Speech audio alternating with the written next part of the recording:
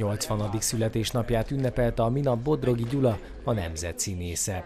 Az új Buda baráti kör szűkkörű, családias ünnepséget szervezett a kerület díszpolgárának a Flamenco Hotelben, ahová nem csak új Buda jelenlegi vezetőit, de volt polgármestereit is meghívták.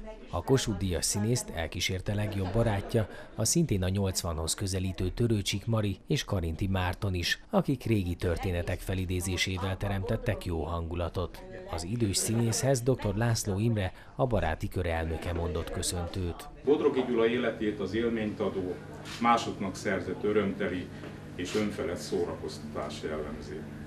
Ezen képessége messze átlag feletti, melyet jól jelez a Nemzet Színésze cím, a Kossuth és a kétszer megítélt Jászai Mari díjak, illetve az érdemes és kiváló művészi címek.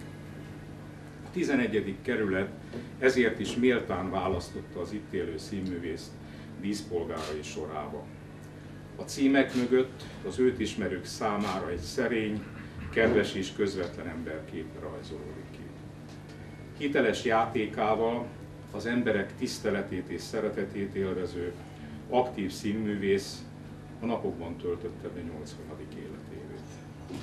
Ez számunkra természetes kötelezettségként írja elő, hogy köszöntsük, és hogy valamennyiünk örömére szolgálóan további tartalmas életpályát kívánjunk számára.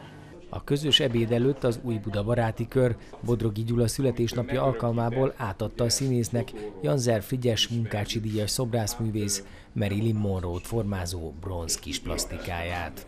A színész nagy örömmel fogadta a számára szervezett ünnepséget, és csak egyetlen rövid kívánsága volt. Egyet szeretnék kérni a Jóistentől, hogy addig éljek, amíg meg nem halok.